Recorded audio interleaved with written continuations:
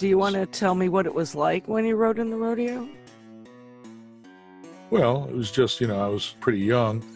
Uh, and actually, my, my, little brothers were taken to the rodeo with me. And, and I can remember we were put on large black Angus yearlings that then were, uh, you know, turned loose and they bucked like hell. I can remember that. I rode first. I rode before my little brothers did. And uh, I rapidly realized he bucked like hell. So you're supposed to hold on with one hand, right? So I had my right hand under a rope, and that rope was very tight. I lash it down your hand. I held on extremely tightly. And uh, then I could feel, you know, thing was almost going to buck me off. So I got pissed off and I, you know, actually reached down and grabbed my wrist.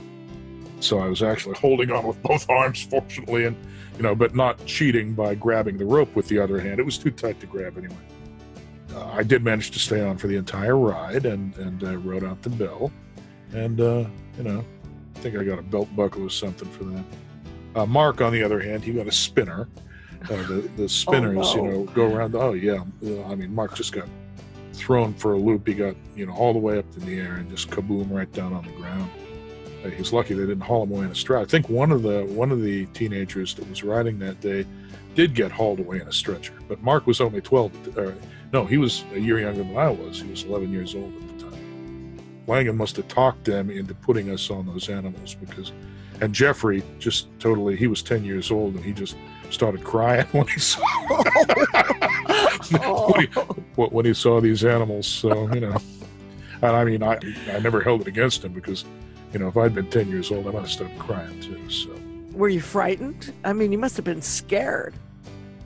Well, you can't get too scared because you've got an arena full of people. I mean, there were like several hundred people. So you don't want to display too much fear.